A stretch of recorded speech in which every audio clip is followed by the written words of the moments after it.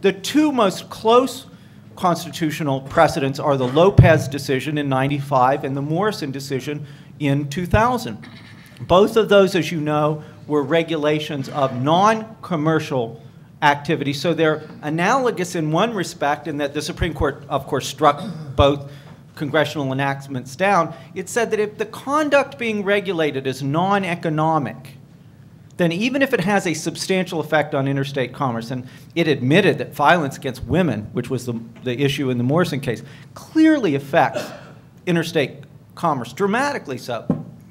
But if that conduct is non economic, the links must be direct.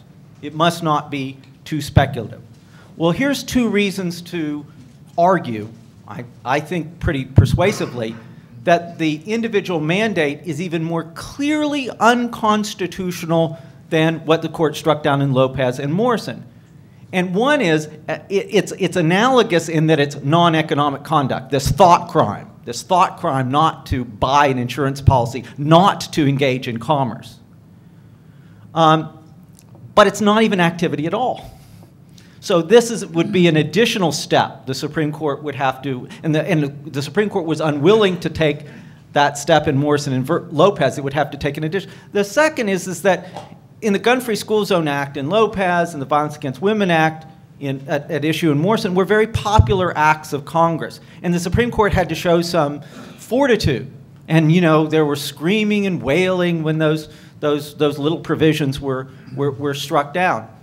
This is a case where the Supreme Court knows that the individual mandate is decidedly unpopular to require people to buy inflated uh, insurance policies to subsidize other government programs. And so it would take an awful lot for the court. The court would have no reason, would have every good reason not to create new doctrine. Well, beyond that, let me just tick off uh, four quick reasons why the Supreme Court would not create this new doctrine. Uh, point number one five members of the current court take the original public meaning of the text very seriously, at least when there's no precedent. The gun case out of DC, Heller, is a perfect example of that. When there isn't controlling precedent, the five of them take the original meaning very seriously. But the decision last Thursday in Citizen United shows that there are five of them even willing to overturn past precedents to, uh, to move back toward the original meaning of the Constitution. Two, the court will realize that if Congress can mandate that we purchase insurance because our inactivity has an effect on commerce, they will realize that Congress can do anything. And that is a proposition the Supreme Court has time and time again said is not the case. Think of the text of the 10th Amendment. They would have to, they've always maintained that there is some line.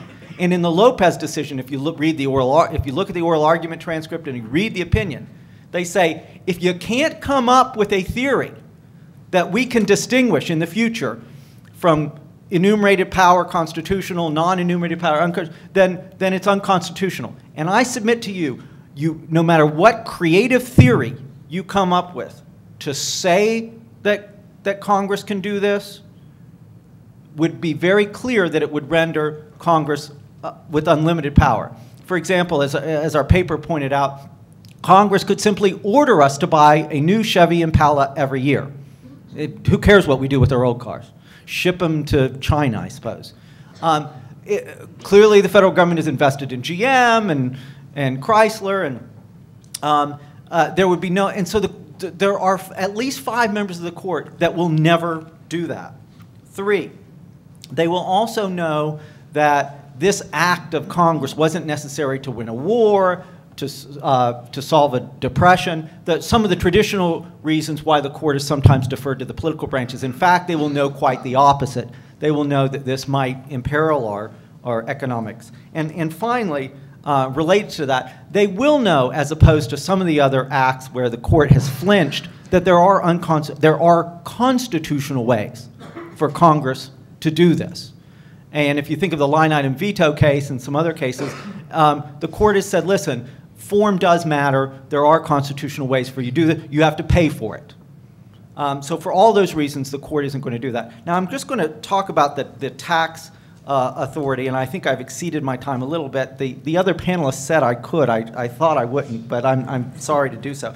Um, the, the, uh, this is, there's, there's three reasons why the so-called tax penalty is unconstitutional. I only understand two of them, so I'll let some tax attorney maybe address the third.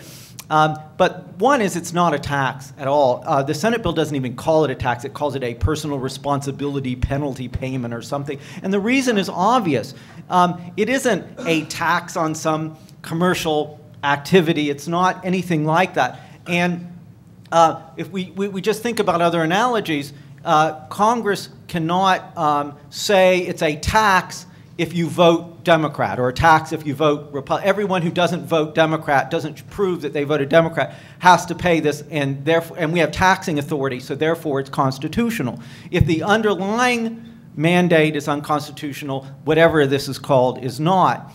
And even the congressional, uh, the, I'm sorry, the Congressional Research Service, which is normally very um, generous in its interpretation of congressional power, said that whatever this is, this so-called penalty, it falls or, or doesn't fall depending on the constitutionality the underlying mandate. If the underlying mandate is constitutional, yeah, I suppose the federal government can, can beat us over the head, but not otherwise. Um, the, the other reason is even if it is a tax, then there's a second problem, and that is it's a capitation tax.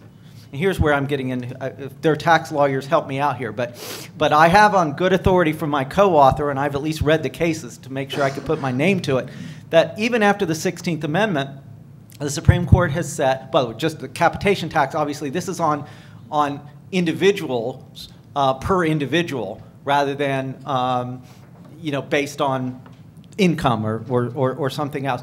Um, and this clearly would be a capitation tax. But even after the 16th Amendment, the Supreme Court has said capitation taxes must be apportioned according to population.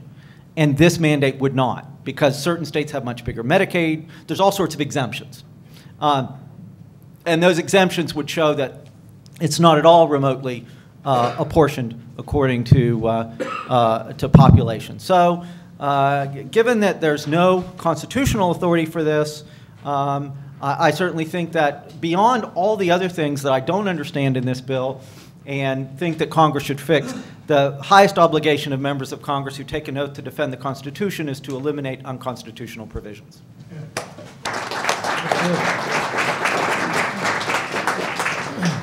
Good job.